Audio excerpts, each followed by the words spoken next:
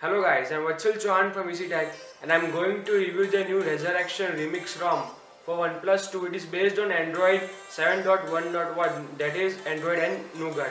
So without further ado, let's get straight into it. This ROM is quite fast and fluid and is stable enough to use it as a daily driver. Bear with some minor bugs here and there.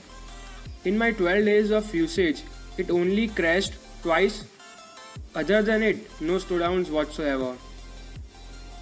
Performance of this ROM is same as or better than OS sometimes. Animations are smooth and handles the UI very smoothly. Opening and closing apps is a breeze, apps open up very fast and the animations makes it even faster. So here I am opening and closing some apps so you can judge the performance and overall smoothness of the UI.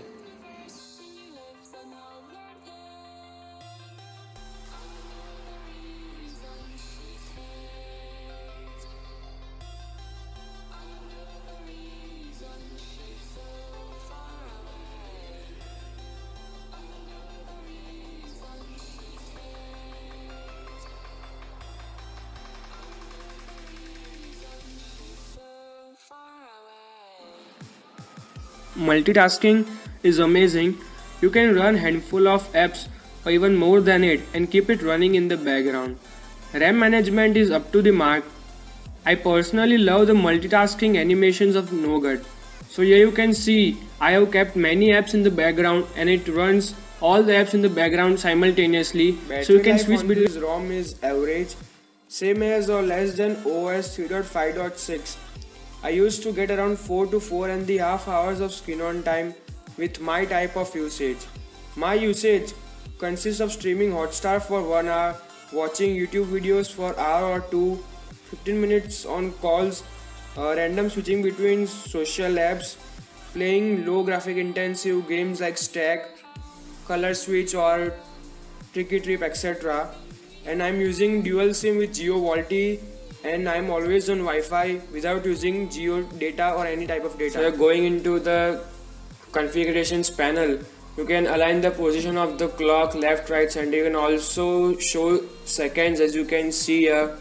And there are many more features. You can also change the font of your clock like I have changed here. Now you can also display the brand logo on the status bar. You can also change its location or color if any if you want. There are also custom logos. I have set the spider-man one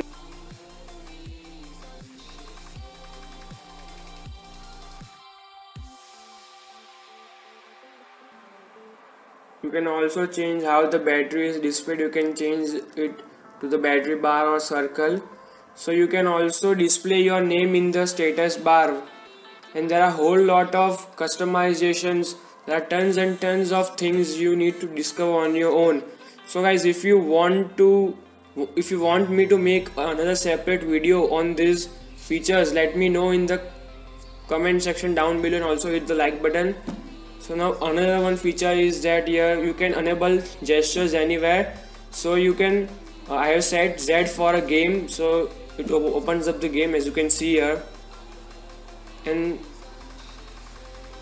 there are many more features i can't go through all of them now so if you guide if you One guys of my this personal favorite feature of this rom is that you can toggle the flashlight if your phone is off by just long pressing the power button audio via the 3.5 mm headphone jack is good but not as good as oxygen os and also the speaker output is quite I don't mediocre. like the washed out colors of my OnePlus 2's display. The saturation is also quite low.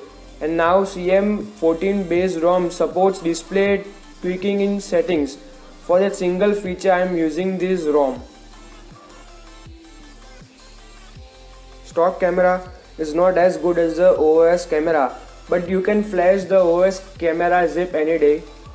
all things apart but this ROM is well known for the customization it offers we simply have to spend hours on discovering its awesome So this ROM is stable enough to use it as a daily driver. It's fast and fluid and you can get through the day easily. The battery life is also if you quite like good. This video, hit that like button and if you didn't, vote it down. Constructive criticisms are always welcome. And if you have any queries regarding this video, you can always comment down below. For more videos like this, subscribe to VC Tech and I'm Vatsil Chauhan from VC Tech signing off.